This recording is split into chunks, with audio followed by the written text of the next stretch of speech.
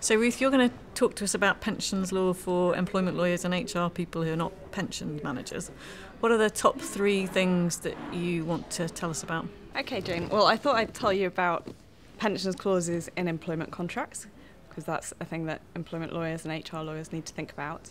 Also, looking at the other end of the spectrum at pensions when you're dealing with termination and how to deal with that in your settlement agreement. And thirdly, we have automatic enrolment, part of workplace pension reform, which is something that applies to all UK employers.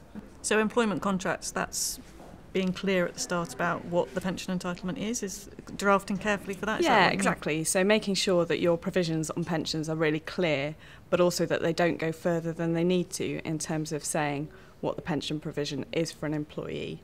So less is more can be the case sometimes. Often, yeah. I think sometimes with pensions, the temptation is to put a lot into the contractual clause, mm. and if you're putting in things like fixed contribution rates for the employer or the employee, or you're writing in automatic enrolment into your contractual provision, it may then be quite tricky to change that going forwards, which can sometimes be an issue for employers. And there's always that bit in precedents that talks about contracting out, um, which I think most people don't really understand and leave it in. Is that is that relevant? Yeah, that's no longer relevant because contracting out has actually been abolished in UK pension schemes. But the good news is that if you still have those provisions in there because of legacy clauses, they just won't apply anymore because the statutory re- repeal of contracting out um, is overriding. So essentially, now you don't need to include anything on contracting out if you're drafting from scratch. But if you've got something in there already, don't worry about it, it just won't apply. So, looking at the other end of the employment cycle, if you're moving somebody on or, or they've resigned or you're, you're exiting somebody, what are the kind of key things to, key flags, if you like to have in your mind, uh, as an HR person or an employment lawyer dealing with that? I guess it would be think about pensions early on because I think sometimes that can get left until final draft of the settlement agreement and it actually can be quite complex. Defined benefit pensions, which is where the employee has a guaranteed amount of pension when they come to draw their benefits, are fairly complicated. So I'd suggest taking advice if you're thinking of drafting anything in the settlement agreement that's dealing with defined benefit pensions. Defined contribution, which is where both the employee and the employer usually have put in a certain amount of money into a pot that will then be used to buy a pension or benefits at the end, um, is dealt with more commonly in settlement agreements because, particularly with workplace pension reform, that tends to be the more common pension that employees have.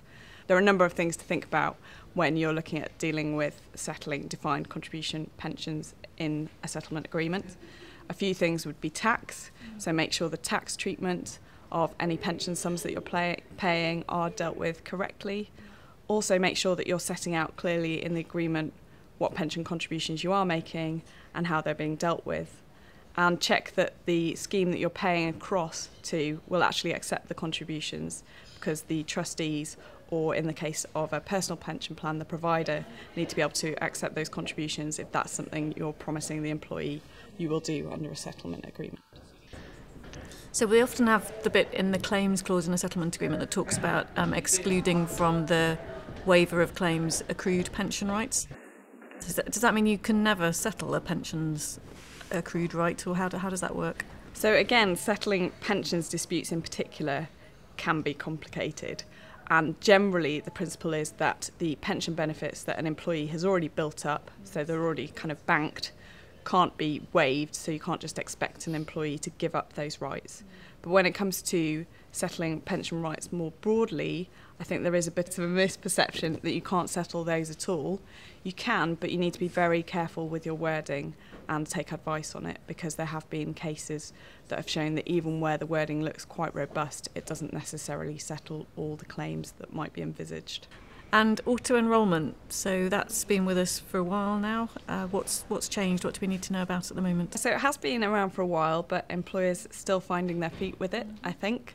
And a lot of smaller UK employers are now obviously uh, coming on board with auto enrolment, and the employer duties under the Pensions Act are applying to them. Just as a refresher, this is the uh, duty on all UK employers to enrol eligible job holders into a workplace pension scheme and start paying contributions towards that scheme for them. Uh, a few updates on this, really. Um, one is that the staging dates for increases in contributions have been put back slightly by the government. I think uh, partly in recognition to how complicated this is and also economic concerns. So the dates for the contribution levels going up have been put back, so worth checking if you're a UK employer.